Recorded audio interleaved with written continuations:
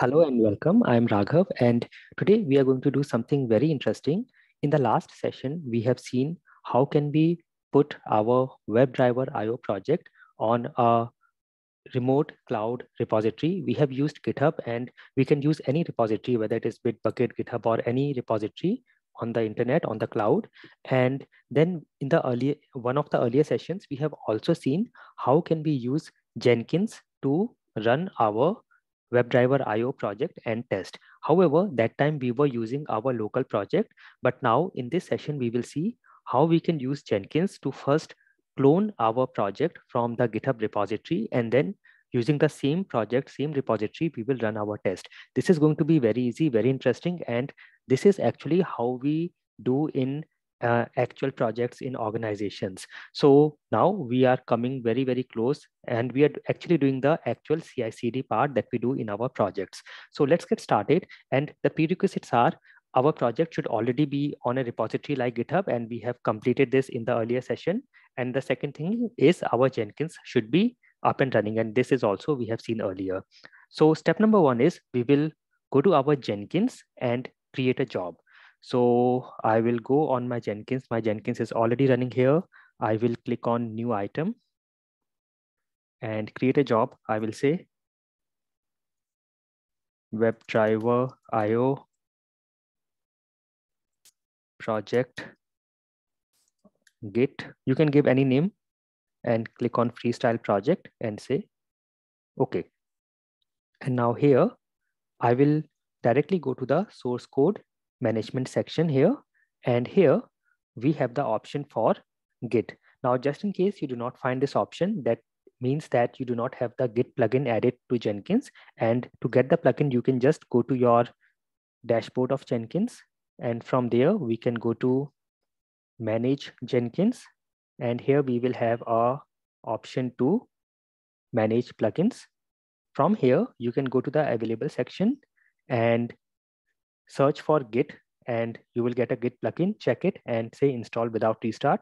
Let me show you the plugin which is installed for my Jenkins. If I search for Git, you can see this is the Git plugin that we need. Okay. So, and similarly, if you're using any other uh, source code management tool, SVN, etc., you can just get the plugin and you will have that option come here under the source code management section. So I will click on Git and here we have to give the repository URL. So this is step number two. We will uh, get the repository URL from our GitHub. So let me go to my GitHub account. And here I will just search for the project we uploaded in the last session, which is this one, WebDriver IO. And this is my project. So you can uh, take the URL from this address bar, or you can click here and copy this URL and give it here in the repository URL. Now, the next thing is we have to add the credentials. So in case you have not added the credentials already to your Jenkins, you can click on this add button and it will take us to the credentials manager page, or you can also do, go from there, go to that page from dashboard and go to manage Jenkins. And here you will see a option manage credentials.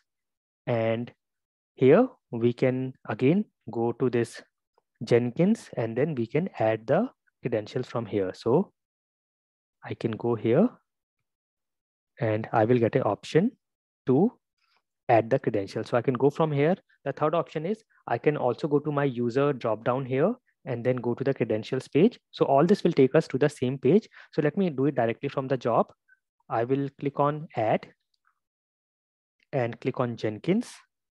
And here domain, we will keep as it is. Kind, we have username with password, GitHub app, SSH, etc. As of now, we will just use a username and username with password. And scope, we have a global scope and we have a system scope where it is accessible only to Jenkins and nodes. And I'll just keep it global for now. And here we have to give the username for our GitHub account. So you can add your username here. I'm adding my username.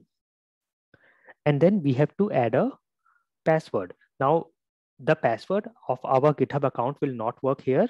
Some time ago, uh, GitHub has changed this that you cannot directly use a password in third-party app, your GitHub password. For that, you will have to create a token. So for that, go to your GitHub account and from the top right, you can click on your user icon here.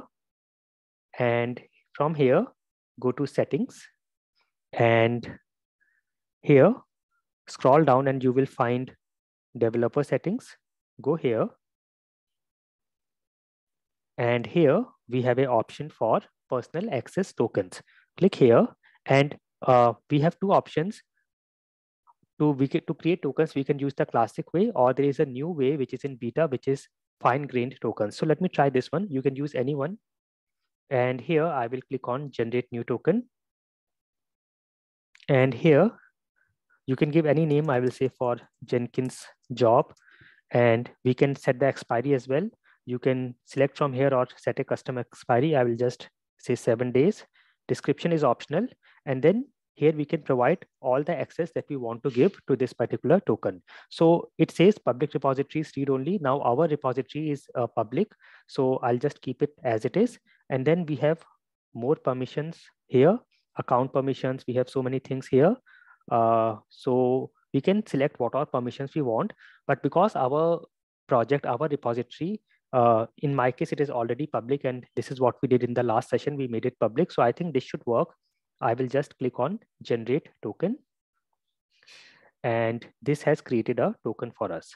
Now you can copy this token from here and also keep it handy with you because once you go from this page, go away from this page, you will not be able to see it again. So you can copy it and keep it somewhere handy. And I will just copy and paste it in my password box of Jenkins credentials here.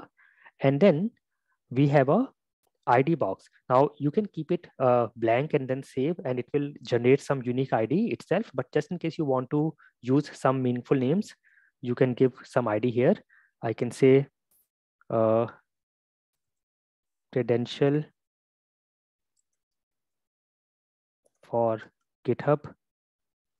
You can give any name here. There should be no spaces and description is again optional. I will just say add and it is added. And now if I go to this credentials drop down, I will see that my credentials are added. You can see two here because one of the credentials was already there. So I can use this one. And then we have the branch that we want to use from our repository. So let it be master because if I see here, uh, if let me go again to my repository on GitHub. So we have a master branch here. So let it be as it is. And then that's it. I will just apply and save for now. I will add the uh, commands to run the test later. Let us first check if it is able to clone our project from GitHub. And one other important thing is to see where it will get cloned. You can check from your, if you go to your Jenkins dashboard, and go to manage Jenkins and go to configure system. Here you will see your Jenkins home directory. So in my case, it is D my Jenkins. In your case, it may be a different directory. So whatever it is, you can, uh, your job folder will be created here. And within that job folder, our project will be cloned. We can also change the location. I will tell you how to do that. And uh, I have uh, changed the default home directory and just in case you want to know how I have did, done that, you can watch my Jenkins video, but that is not required. Whatever it is here, that is fine, okay? And now we have done step number two. And now I will just first run and check if it is able to clone our project. So I will click on build now, and you can see it has started the run. I will click on the status bar, progress bar, and I can see this. And looks like everything is done. It says it is finished. And here I can also check the location where my repository has gone. So I'll just copy this location. It is D my Jenkins workspace. So all my project folders, all the job folders goes here. I will just go and check here. So here I can see all job folders and my job folder is let me see here.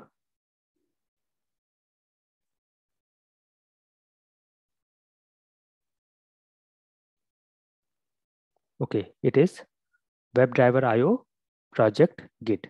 And yes, it has cloned all the project from the repository. And if you see here, we do not have the node modules and the result folders. And that is because uh, in the last session, when we were uploading our project, to GitHub, we had created a .gitignore file and there we have added all these folders. So all these folders are script. They have not gone to the uh, repository, but I will tell you how you can get these, how you can run a command and get all uh, get the node modules and the result folder, report folders will anyways get generated when we run our test. So here, let us go back to our project. And one more important thing is, if you want to change the location of the folder where your repository will get cloned, you can go to the general section and here click on advanced. And here I will say use custom workspace.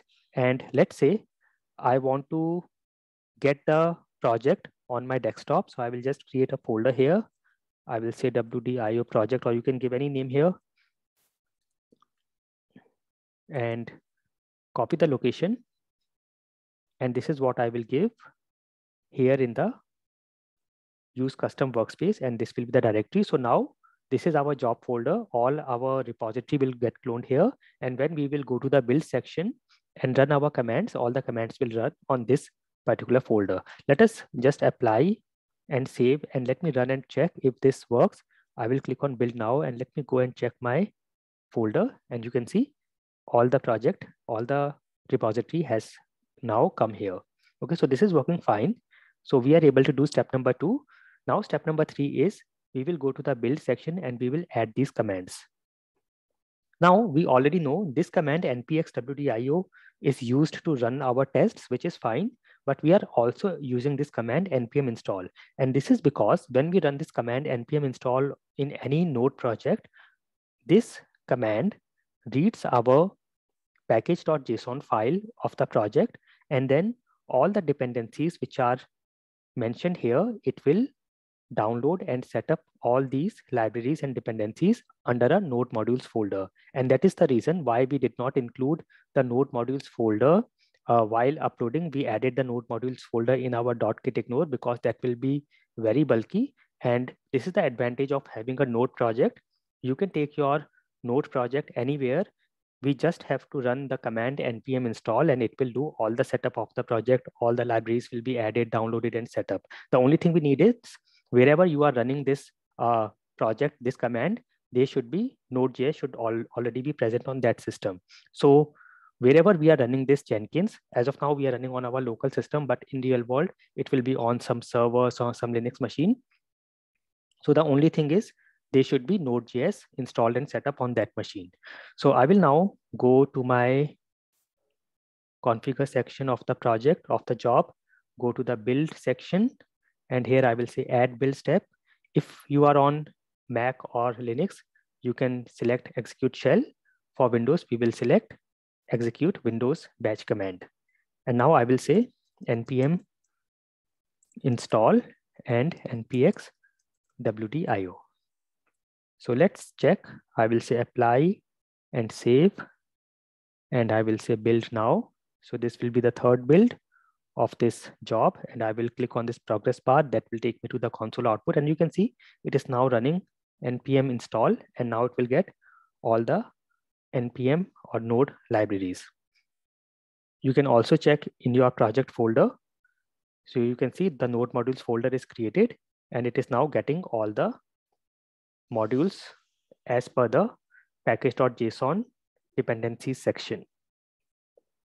So let's wait it will take some time for the first time, but uh, after that, it will be very fast and it is already done. You can see it is already done.